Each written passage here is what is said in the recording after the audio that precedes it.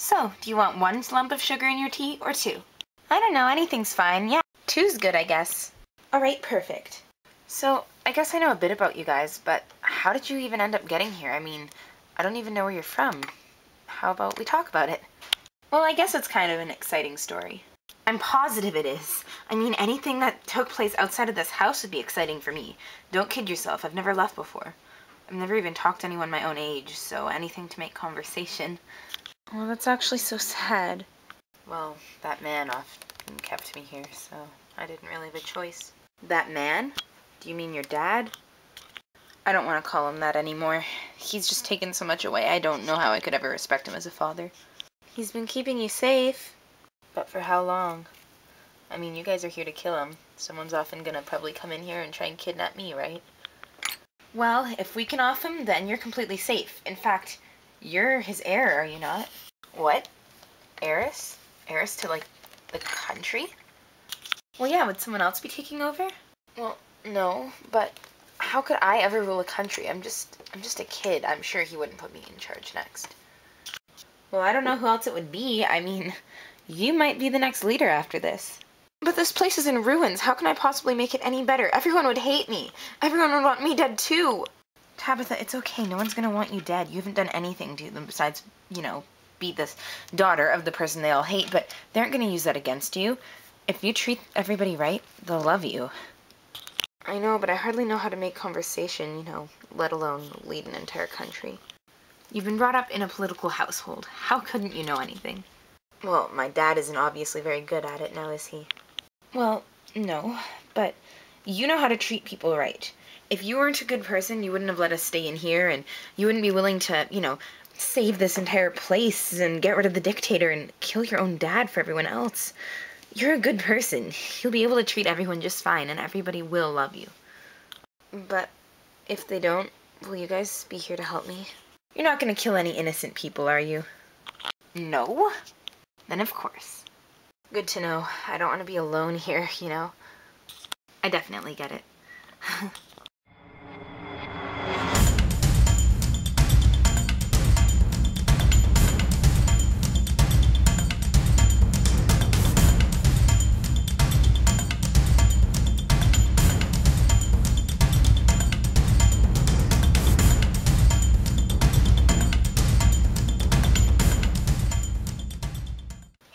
Hey, you still wanted to hear about our stories, didn't you? Oh, yeah, right. How did you guys end up getting all the way here? And where did you even start from? Well, it all started, you know, not very long ago. Maybe a week and a half. I guess the place we come from isn't that far from here because it didn't take us that long to get here.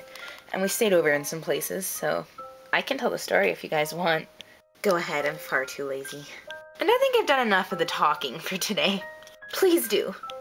Well, it all started two weeks ago when Kyla phoned me and told me that she needed me to come over. She told me that her mom was considering moving them to Europe to get away from all the people who were coming closer and closer and threatening our lives. The soldiers, that is. And, well, she was also telling me that she had these visions of her brother. Our brothers were off battling, as you know, and, well, we were worried because we didn't know where they were, so Kyla decided, hey, Portland, me and Shay are gonna stay behind. Do you want to come with us on a big adventure? Now, the thought of this was a little scary for me because I'd never been on an adventure before. But off we went anyway. Kyla managed to finally convince her mom to let her stay home from going to Europe, and we ran off. We didn't really know where we were going, but we decided to go to the resistance people first to see if we could join up and, you know, figure out where our brothers were. But no, we were too young and girly. So we went off and we found ourselves our own little battalion. That's our friends Heidi and Jesse. They were alone in the forest and needed some more soldiers, and we were happily willing. So we went to their clubhouse and stayed there for a few days, and then it blew up.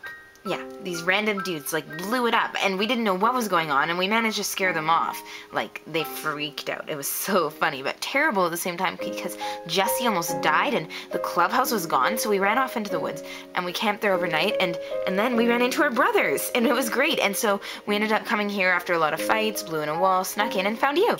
That has got to be the craziest thing I've ever heard. I wish I was there.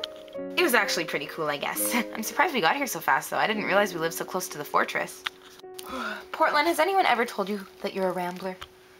Only when I have a lot to say. Well, that's fascinating. Much better than my story of getting here. I've always been here. It's not that interesting. I suppose so, but I'm sure your future is going to be interesting. And I'm positive of it. Well, thanks, guys. Yeah, um, hey, Tabitha, can I ask you something? Um, yeah, of course. What is it? Well, we told the rest of our group, you know, our brothers and Heidi and Jesse, that we were gonna figure out a plan to get rid of your dad, and you said you'd be willing to do anything to, to kill him, right? Yeah, I did. Do we need to make a plan? Yeah.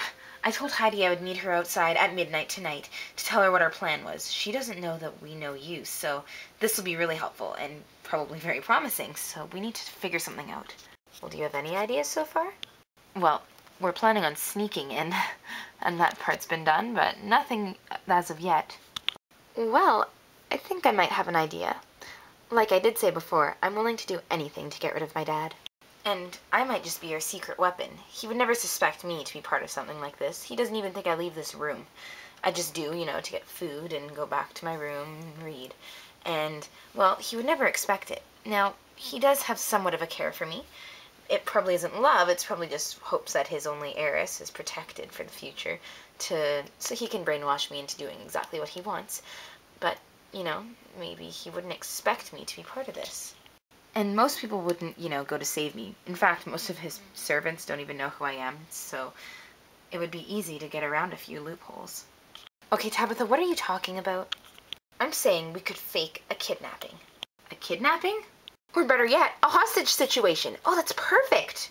Okay, well, what, what's your idea? I know this fortress inside and out, and I know the weakest point is the roof. It's really easy to get to because you can get to it from almost any hallway. All the stairs lead up to it, and it gives us a lot of opportunity to get rid of my father. Ooh, I'm liking it so far. The three of you guys will pretend to kidnap me and use me as your hostage, and then you'll also use me as a human shield. Just hold me in front of you and they won't shoot me, I promise. They would never do that. My dad would demand it not. Won't we get attacked, though? But here's the thing. My father's guards are only instructed to take care of my father. They would never go after him. But in a flurry of panic, he might actually chase us onto the roof. I'll tell you where to get how to get there. I'm listening.